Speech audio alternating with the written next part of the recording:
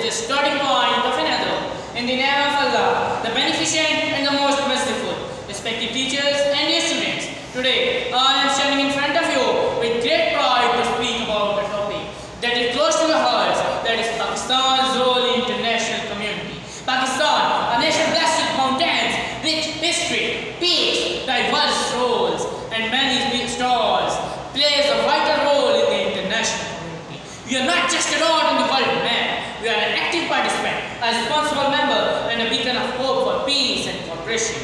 As the man motive to get the separate homeland is to live our lives according to a religion that is of course Islam, and Islam says that never aspire for confronting your enemies in a fight. Pray to God to be among those who seek living peacefully with others. So one of Pakistan's significant role in the international arena is as a peacemaker.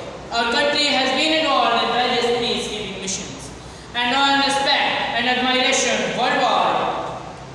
Qaid Muhammad Ali Jinnah, the founder of Pakistan, which is the land of pure, the land of peace, and the land of stars. And its first General, in a broadcast, talked to the people of USA in February 1948, outlining the goals of Pakistan foreign policy.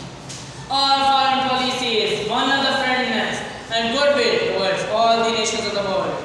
We do not cherish aggressive designs against any country or nation.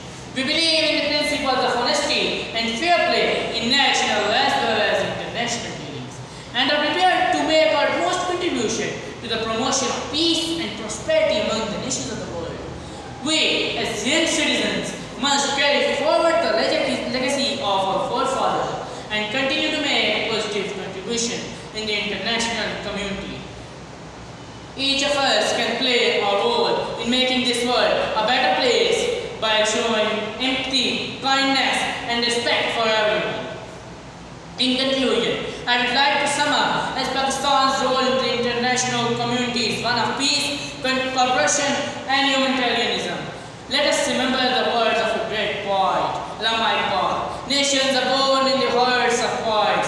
They prosper and die in the hands of politicians. Thank you all and may Pakistan forever shine as a beacon of hope and peace in the international community.